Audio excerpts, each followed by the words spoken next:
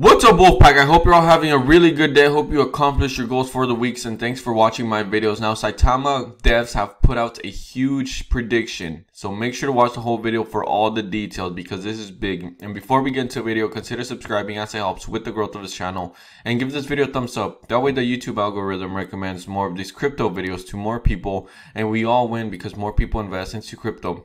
So, so yes guys, as you know, the devs are pretty big when it comes to putting predictions out there about Saitama, which makes us all very, very optimistic about the future.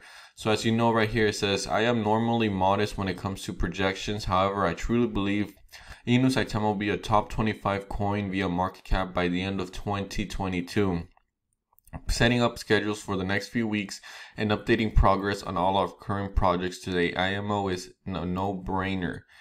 Now, can this be true, guys? I honestly believe yes. Saitama is going places where no token has gone before, and a lot of you might be saying right now, "Hey, every it's red, it's going down, it's it gained a zero." Well, guess what, guys? Every token has been doing that. There is no exception to the rule.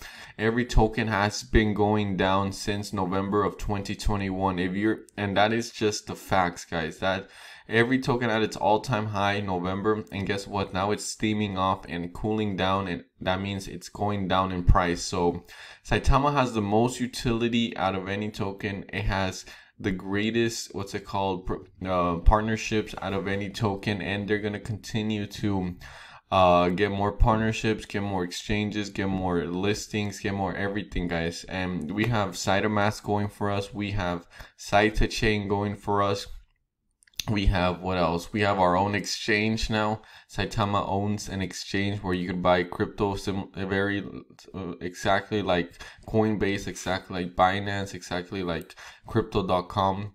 And it's only going to be a matter of time before the bull run happens and we are going to be locked and ro- loaded. Saitama FOMO is going to kick in really, really hard once the bull run happens. And right now, uh, right now that the price is down, is the only way you can make money in crypto. You cannot make money, and I cannot repeat this enough. You you cannot make money at all time highs. That's not.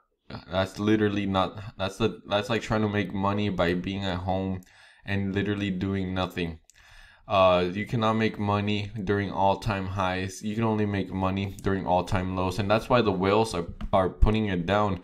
As you can see, these huge spikes, huge sell-offs, huge spikes. These are to make investors scared, and and the whales are doing that to lower the price.